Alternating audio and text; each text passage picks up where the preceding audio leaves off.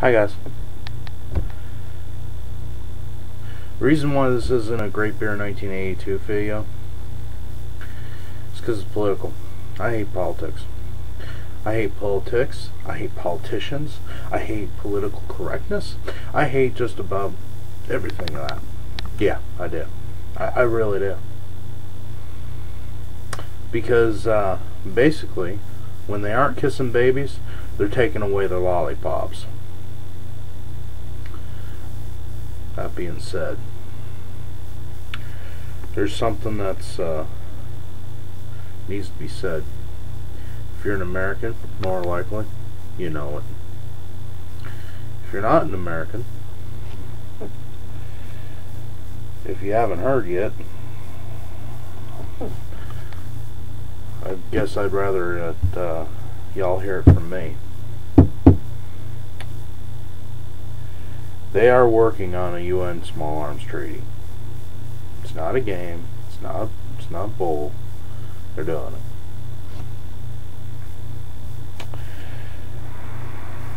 Tuesday, this last Tuesday, at 7:45 p.m., Lou Dobbs reported that one of the key negotiators for the UN Small Arms Treaty is Iran. I don't know how how up to date you are on the war in the Middle East and all that other stuff, but to me, that sounds like a bad idea. Just saying. The same country that we've been having issues with, with nuclear sanctions and oh they don't have a bomb. Well, no they don't. Well, they don't have nuclear power yet. They they don't have a bomb. Oh wait a minute. Oh now they've got nuclear power. But that's just nuclear power. Yeah. And on and on it goes. And on and on and on and on and on it goes. Quite honestly, where this all goes, uh, what affects me is if they start deciding to go against and start implementing uh, policies that go directly against my Second Amendment rights. Look, they go against the Second Amendment like that, and, and you know, for the past 60 years, our Bill of Rights have now become Bill of Privileges. I mean, let's be honest. If you're going for the Bill of Rights, I mean, Second Amendment, by their definition, I should be able to have any arm that I choose and walk down the street with it. Um,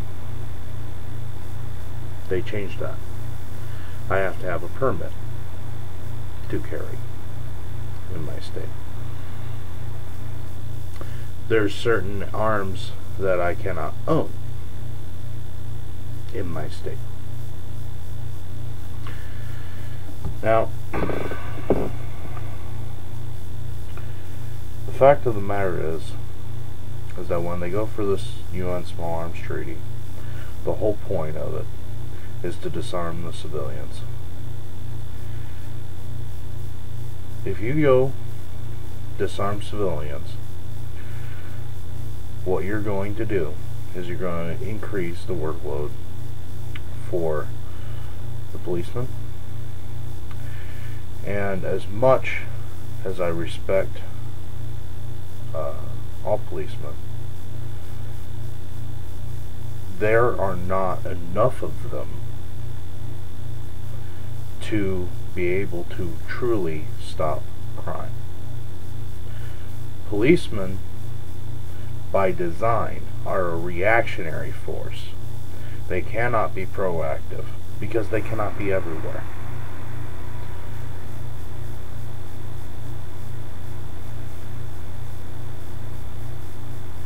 I could go into statistics of how people being armed have saved lives, countless lives. I can go into all that, but I don't feel I need to.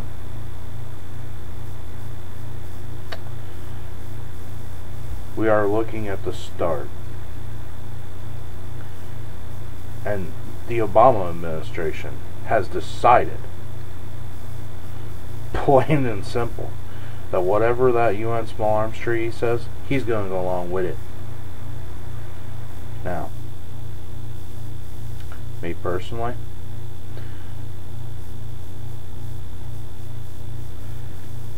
I don't agree with this. I don't agree with it at all.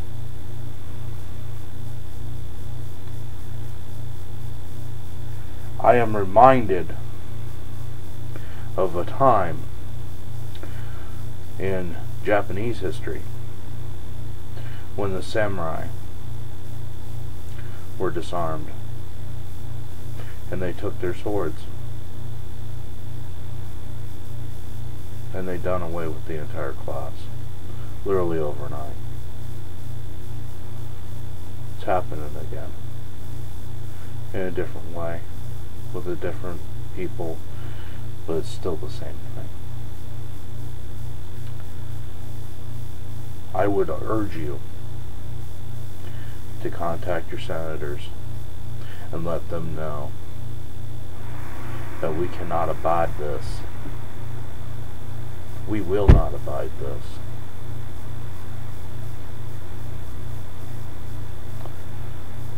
Now I understand that I am only one voice. I understand that. I also understand that most likely my one voice is not going to be neither heard nor cared about. That's fine. But there's a bigger end than this, and it's this.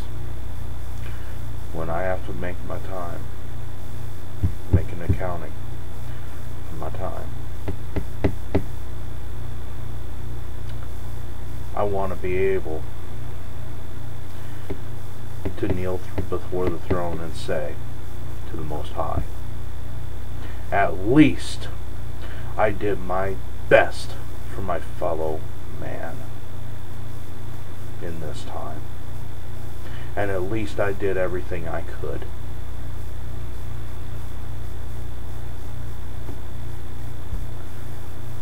That's about all I got to say about that. Sorry about the long video. We are watching the death of a nation.